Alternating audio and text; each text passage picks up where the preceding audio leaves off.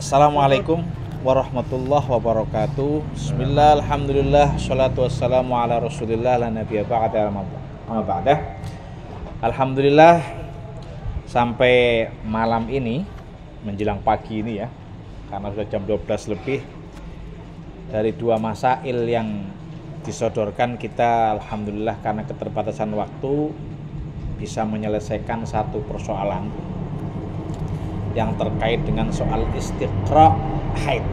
Eh, sebagaimana kita ketahui ternyata uh, ada satu rekomendasi yang menarik ya dari persoalan ini yaitu perlu juga ada istiqra atau penelitian lanjutan penelitian lanjutan untuk menguatkan penelitian-penelitian atau istiqra istiqra sebelumnya yang telah dilakukan para yang telah dilakukan oleh para ulama-ulama terdahulu seperti Al-Imam Syafi'i. Itu satu hal yang menjadi salah satu poin penting di dalam hasil bahsul masail pada malam ini. Dan apa yang dihasilkan pada malam ini pada dasarnya baru sebatas draft. Ya, baru sebatas draft di mana nanti draft ini kita akan bawa ke pengurus besar Nahdlatul Ulama dan akan kita usulkan menjadi salah satu bagian daripada materi Bahsul Masail untuk Munas Alim Ulama Pengurus Besar Nahdlatul Ulama yang insya Allah akan dilaksanakan pada bulan September tahun ini. Saya kira ini Alhamdulillah ya kita sudah punya satu masalah ya yang nanti kita akan storkan kepada pengurus besar dan nanti akan diseleksi apakah ini bisa masuk ke Tapi kita berharap bahwa apa yang kita putuskan pada malam ini nanti bisa masuk kan, untuk dijadikan salah satu uh, materi Bahsul Masail pada Munas Alim Ulama yang akan dilaksanakan pada bulan September. Saya kira itu mas. Mungkin ada pertanyaan. Hasilnya seperti apa yang dari poin A dan B itu? Jadi yang terkait dengan soal ini secara umum secara umum bahwa perlu juga secara umum itu meskipun para peserta itu masih tetap kekeh ya kelihatannya ya. Iya. Nah, bahwa argumentasi medis itu tidak bisa mempengaruhi uh, mempengaruhi hasil istiqro yang telah dilakukan seperti Imam Syafi'i gitu. Itu mungkin itu itu kan baru hasil sementara. Baru hasil tetapi meskipun demikian hal itu pun tidak dengan serta-merta menutup pintu adanya istiqro istiqro baru ya. Adanya istiqro istiqro baru yang akan muncul ya. atau mungkin adalah penelitian-penelitian baru yang akan yang akan muncul. Itu nggak nggak nggak nggak nggak apa ya nggak menutup kemungkinan. Itu bahkan bisa rekomendasi tadi kan ya salah satu rekomendasinya bisa saja itu kita perlu membuat sebuah istiqro baru untuk menguatkan istiqro yang lama. Atau bisa jadi nanti kita hasilnya bagaimana? Ya kita akan, akan lihat sejauh mana istiqro baru itu hmm, memiliki kekuatan ya. Memiliki kekuatan. Tentu dengan persyaratan-persyaratan yang dianggap standar. Saya kira itu jadi uh, yang apa namanya penelitian dari Imam Syafi'i itu tidak bersifat paten seperti itu ya Harusnya begitu, tapi sementara ini para peserta menyatakan bahwa dia e, jadi hasil misalkan istiqro yang dilakukan oleh ahli medis sekarang itu tidak bisa menjadi pertimbangan karena dianggap karena mm, para peserta menganggap bahwa istiqro yang dilakukan oleh Imam Syafi'i itu sebenarnya sudah sudah paling sempurna, sudah paling sudah paling top lah. Tetapi pada dasarnya tidak menutup kemungkinan karena apa pun bentuknya, apa pun bentuknya istiqro istiqro yang dilakukan oleh para ulama-ulama terdahulu itu bukan merupakan sesuatu yang uh, kemudian dikatakan sebagai satu harga mati. Tidak. Tidak dikatakan sebagai harga mati, tapi dia sebenarnya juga pada hakikatnya itu menerima dapat kira-kira itu kira-kira itu sebenarnya bukan sesuatu yang ya harga mati tadi itu loh sehingga nggak bisa otak atik enggak.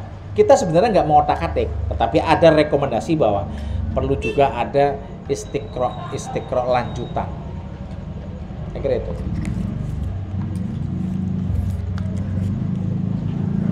Palsu apa boleh? Silakan ini mana ben silakan ini pakai mana ben ya. Uh, jadi eh, alasan mengapa diskusi ini masih relevan untuk kita bahas, misalkan di level PBNU atau di level di level-level lainnya, karena ada beberapa pertanyaan metodologis yang penting untuk menjadi bahan refleksi kita. Misalkan begini, kita semua tahu bahwa istiqro itu kan ada dua macam. Ada istiqro tam. Istiqro, istiqro tam itu ketika meneliti semua partikular-partikular yang ada, kecuali surah niza. Lalu ada istiqro nakis. Nah, istiqro nakis itu adalah ketika kita meneliti sebagian besar partikular yang ada. Nah, pertanyaannya sesungguhnya ketika definisi dari istiqro nakis itu bisa dicek misalkan di Jamul yang definisinya. Ketika kita menyepakati bahwa definisi istiqro nakis adalah meneliti sebagian besar partikular-partikular atau juz'iyat yang ada, pertanyaannya apakah Imam Syafi'i sudah Misalnya. meneliti ya misalkan apakah Imam Syafi'i sudah meneliti sebagian besar partikular yang ada? Atau Imam Syafi'i misalkan baru meneliti 50 persennya. Nah ini kan kalau kita menem- bisa berhasil menemukan data-data, maka e, istiqro Imam Syafi'i akan semakin kokoh. Misalkan kita berhasil menemukan data bahwa Imam Syafi'i sudah berhasil mela- melakukan istiqro atau tatabbu' di sebagian besar juz'iyat-juz'iyatnya. Nah tadi kan data-data itu belum keluar karena itu kan memang harus karena waktu itu karena waktu itu dunia Islam sudah cukup luas. Dan apalagi kalau kita ingin mengatakan bahwa permasalahan head ini bukan bukan hanya permasalahan yang menimpa kaum muslimin tapi menimpa seluruh perempuan di seluruh dunia. Karena itu kalau ingin istiqorohnya itu nakis paling tidak harus meneliti sebagian besar penduduk dunia pada saat itu nah ini beberapa persoalan yang penting untuk menjadi bahan refleksi karena itu diskusi ini masih cukup menarik untuk kita bahas di tingkatan-tingkatan berikutnya gitu kira-kira Cukup. Satu hal lagi tadi, eh, mungkin Pak Moderator bisa menjelaskan diskusinya seperti apa tadi. Jadi para musyawirin masih banyak terjebak dengan diksi-diksi yang menurut saya sedikit provokatif di, provokatif di dalam deskripsi sehingga tidak heran jalannya diskusi tadi berlangsung bahkan agak cenderung anti medis sehingga mungkin ketika nanti masalah dibawa ke level munas dan seterusnya mungkin nanti akan mendapatkan perspektif perspektif perspektif baru baik dari sisi medis maupun keagamaan sehingga akan tercipta hasil rumusan yang berbeda seperti itu. Tapi ala kuliah ada rekomendasi itu. Ala kulli hal, ada satu rekomendasi penting dari Bahsul Masail tadi bahwa istiqro lanjutan itu masih diperlukan. Ya. Kiai Idris, lama. Ya, jadi eh, satu hal yang menurut saya yang, yang menarik adalah eh, eh, para mu- musyawirin dan juga eh, dewan perumus dari Syuriah ini kan mempertanyakan terkait dengan eh, medis ini metodologi eh, istiqrohnya seperti apa.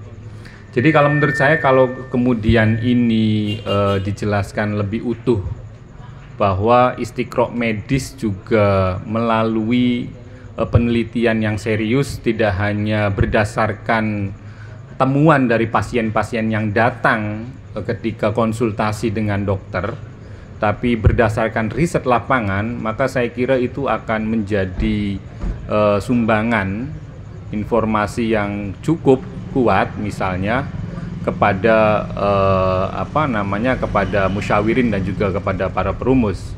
Sehingga misalnya ada beberapa riset eh, saya kira kalau di di eh, Timur Tengah sebenarnya sudah eh, sudah cukup banyak artikel-artikel di jurnal yang eh, mencoba me- mentakribkan antara pendekatan medis dengan pendekatan fikih terkait dengan haid itu dan menurut saya peluang untuk eh, pengembangan itu sangat eh, sangat besar celahnya karena apa? Karena di dalam madhahib eh, madhahibul arba'ah itu juga kan tidak tunggal.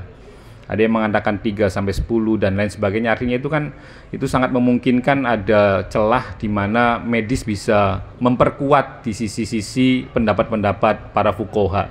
Jadi intinya tidak hendak kemudian mengkonfrontasikan atau membenturkan temuan-temuan med- medis dengan temuan istiqro yang dilakukan oleh Imam Muna Syafi'i misalnya, tapi justru mungkin bisa mengambil celah-celah eh, kekosongan-kekosongan dan juga bisa memperkuat argumen dari istiqro yang pernah dilakukan oleh eh, para imatul madahib al-arba'ah, khususnya Imam Syafi'i. Saya kira itu cukup. Terima kasih.